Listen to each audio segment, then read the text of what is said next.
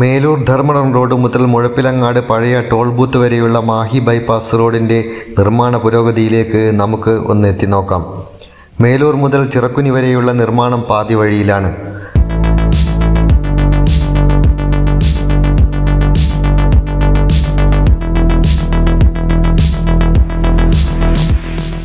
അവിടെ നിന്ന് ധർമ്മടം പാലം കഴിഞ്ഞ് നാഷണൽ ഹൈവേയിലേക്ക് പ്രവേശിക്കുന്നതിന് തൊട്ടു മുൻപുള്ള ഭാഗം വരെ ഏതാണ്ട് പൂർത്തിയായി വരുന്നു.